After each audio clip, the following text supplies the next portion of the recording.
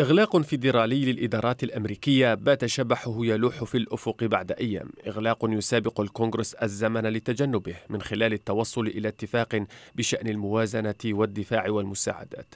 فالعمل بالميزانية الحالية ينتهي يوم الحادي عشر من الشهر الجاري ولتجنب حالة الإغلاق يمكن للكونغرس اتخاذ قرار بإجراء تصويت على قانون مؤقت لبضعة أيام.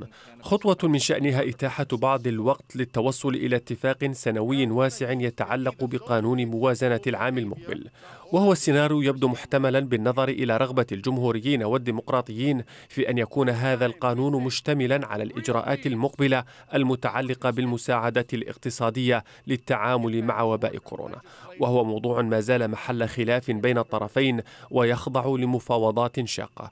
مجموعة من النواب الديمقراطيين والجمهوريين اقترحوا خطة مساعدات للأمريكيين بقيمة 908 ملايير دولار. اقتراح وافقت عليه رئيسة مجلس النواب نانسي بيلوسي كأساس للتفاوض على النص النهائي.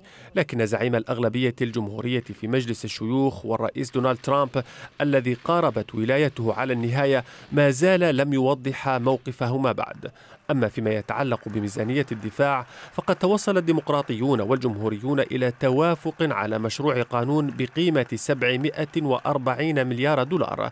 توافق يهدد ترامب بإسقاطه باستخدام حق النقد فهو يطالب بإلغاء قانون يحمي الوضع القانوني لشبكات التواصل الاجتماعي التي يتهمها بالانحياز ضده مقابل تمريره لموازنة الدفاع.